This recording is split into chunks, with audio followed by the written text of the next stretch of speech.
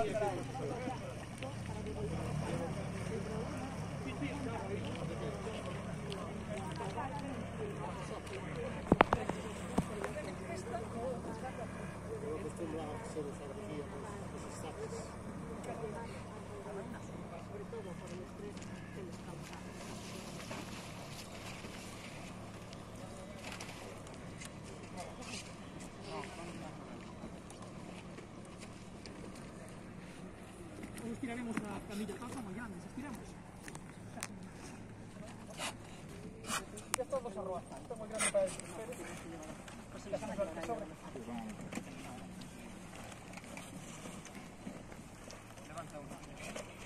Sí, estamos asistiendo al varamiento de cuatro delfines aquí en Riancho.